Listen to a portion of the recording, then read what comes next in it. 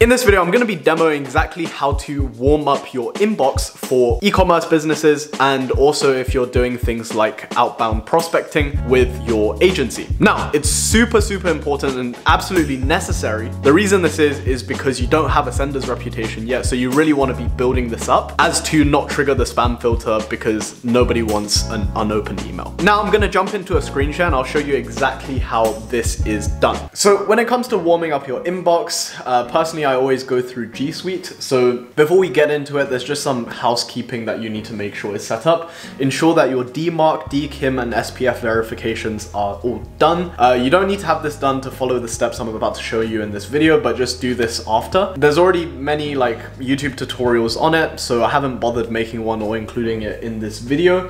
However, if you do actually want me to cover this in a separate video because it is quite time consuming, drop it in a comment below because to be honest, a few of the YouTube tutorials tutorials I've watched, they're kind of like confusing. So if you want me to do it, leave them as a comment. Now, once this is done, there are two main things you are trying to do when it comes to actually warming up your inbox. And that is you need to ensure that there's both a healthy inflow and outflow of emails to the inbox. So the first step is to sign up to 10 different daily newsletters. So how we're gonna do this is I'm gonna link down below 10 different daily newsletters that I generally use to warm up my inbox. One of them being Morning Brew, so I would just type in bzbroke, gmail.com, and you're gonna get a confirmation email through shortly. And what you're gonna do is you're just gonna uh, do a filter real quick, Morning Brew, and you're gonna filter all of these emails so they don't actually show up in your inbox. The reason why you wanna do this is because you just wanna be able to keep your inbox as tidy as possible. So you wanna hit skip the inbox, archive it, mark as read, and uh, always mark it as important and never send it to spam. The reason why you want to hit this is just like kind of good karma because you know you don't want to send someone's mailing list that you're just using to warm up your inbox to spam. So never send it to spam, always mark it as important to help someone else's deliverability as well. So you want to hit create filter. So once you do this 10 times with the newsletters down below, then you want to go to a website called Warm Up Inbox. They're a piece of software that allows you to actually automatically warm up your inbox. It's kind of like Lemwarm, except it's much more cost effective. I'm just gonna log in real quick uh, as I already have an account with them. So I'm just gonna hit sign in.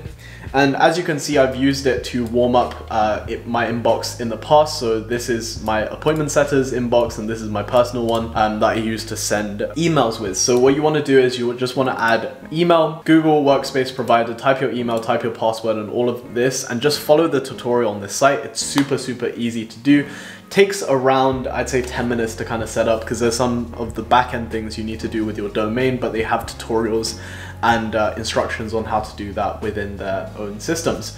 So in terms of a starting baseline, generally speaking, if your inbox is completely new, I would recommend starting with anywhere from kind of like two to five. Uh, two to five, not 25 by the way. So starting with two to five, but you know, if your inbox has been around for let's say uh, a few months already, or you've been actually using it for years as an e-commerce brand, then I recommend just starting off with anywhere from like 15 to 20, right? 15 to 20. Let's start with 15 in this uh, demo, and then you want to hit increase per day. So now, if you're just getting into uh, email marketing, then I highly recommend just increasing it by increments of no more than kind of like three. Whereas if you're doing cold email, then I really recommend you start ramping up between one to two a day. In terms of max sends per day, generally speaking, if you're an uh, if you're doing outbound prospecting, I recommend anywhere from kind of like 15 to 25. But if you're an e-commerce business, then I really recommend you go 30 or above. The max on here is 50, but I recommend sticking kind of 30 to 40 range.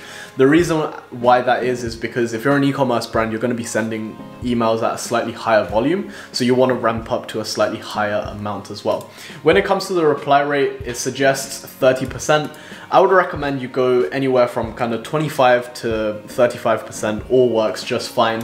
Uh, typically when I do it, I keep it around 30%. This applies to both if you're an e-commerce business or if you're doing cold outbound prospecting. So you just want to hit save, make sure you fill out the rest of your details and uh, do all of the steps it tells you to do within the software itself. Once that is done, just leave it there for a minimum of two weeks before you actually send any real emails. The reason this is, is because you don't want to risk getting marked as spam and also you want to have like a steady ramp up process in the sense that if you begin on somewhere, let's say like uh, three or something, then you want to have like a show, you want to show the email provider like a steady increase as opposed to just suddenly like jumping to 20 a day or, you know, if you're an e-commerce brand blasting 5,000 emails out there a day, that's going to land you in the promotions or spam folder please, please, please don't do it. So once you're all set up with that, again, go to uh, your email inbox and then you wanna create a filter for warm up